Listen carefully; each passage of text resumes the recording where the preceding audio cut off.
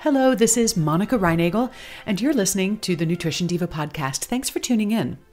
Support for the Nutrition Diva podcast comes from Third Love, the lingerie brand that uses real women's measurements to design better fitting bras.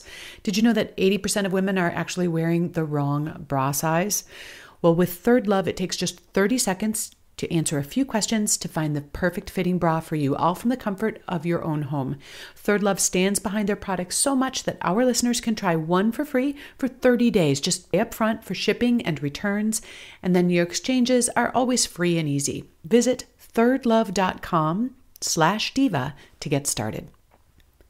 I don't have to tell you that we live in a deeply divided nation. Now, don't worry, I'm not venturing into politics here. I'm talking about the never ending debate about whether you'll lose more weight by cutting carbs or by limiting fat. There have been dozens and dozens of studies and numerous meta analyses pitting the two approaches against one another. And they've been evaluated not just for weight loss, but other measures of health, such as cholesterol, blood sugar, blood pressure, and body composition as well. Each side has put some points on the board, but neither one of them is running away with the game. Part of the problem is that the terms low fat and low carb are used somewhat indiscriminately.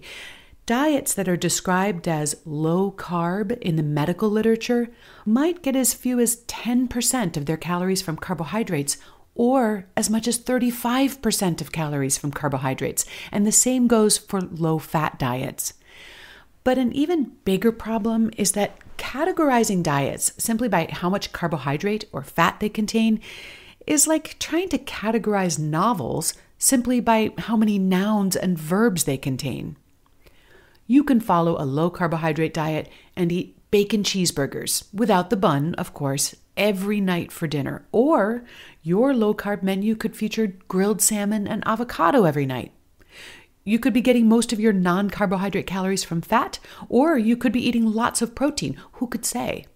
And similarly, on a low fat diet, you might start every day with sugary breakfast cereal topped with skim milk, or you could be sitting down to steel cut oats and fresh berries for breakfast. You might be getting very little protein or quite a bit. These uncontrolled variables could have a significant impact on things like your blood chemistry and fat loss, not to mention your appetite, digestion, and energy. That's why I was so intrigued to read about a recent study that compared a diet that was low in carbs and high in fat with a more balanced diet while controlling for many of those other variables. In this study, which involved 44 overweight men, the participants ate more or less the same foods, just in different proportions. So, one group held their carbohydrate intake to just 10% of calories, while the other group ate slightly more than half their calories from carbohydrates. However, both groups were instructed to completely avoid added sugars, refined carbohydrates, and processed foods. Protein consumption was held constant between the two groups, as was the amount of omega 6 and omega 3 fats in their diets. Although the low carb group ate a lot more fat than the balanced diet group, both were getting their fats from the same foods, mostly butter, cheese, meat, and eggs. And finally, both groups ate around a pound of vegetables a day. Be still, my beating heart. In other words, despite the significant differences in carbohydrate and fat intake, both of these groups were eating a diet of minimally processed whole foods. And after 12 weeks, both groups posted similar results in terms of weight and fat loss. In other words, you don't necessarily have to give up carbs or fat to lose weight and improve other health indicators. Just give up the junk food. Of course, you'll also have to eat fewer calories if you want to see a change on the scale. But you might find that replacing highly processed foods with whole foods ends up reducing your calorie intake automatically and relatively painlessly.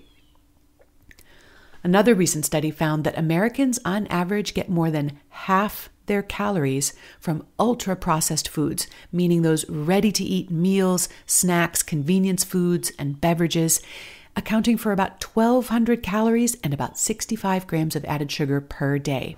If you were to replace most or all of those chips, fries, sweets, fast foods, and soft drinks with whole or minimally processed foods, I bet you'd have a very hard time getting it to add up to anywhere near 1200 calories. But, you know, if that's too big a shift to make all at once, you could start by replacing half the processed food in your diet with whole foods and see what happens.